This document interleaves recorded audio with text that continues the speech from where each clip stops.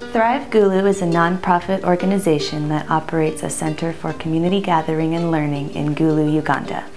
We support communities in northern Uganda to recover from the traumatic effects of conflict through mental health, economic empowerment, and education programs.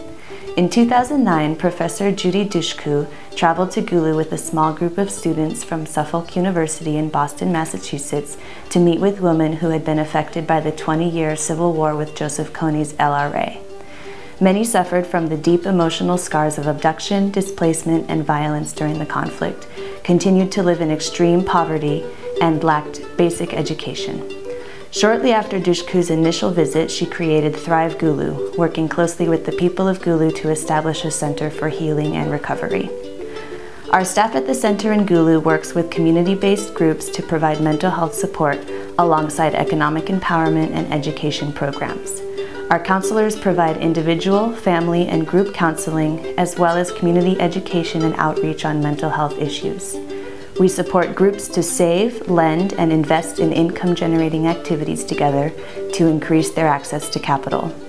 We also run an adult literacy program so that group members who miss the opportunity for an education can learn to read and write in both Acholi, the local language, and English.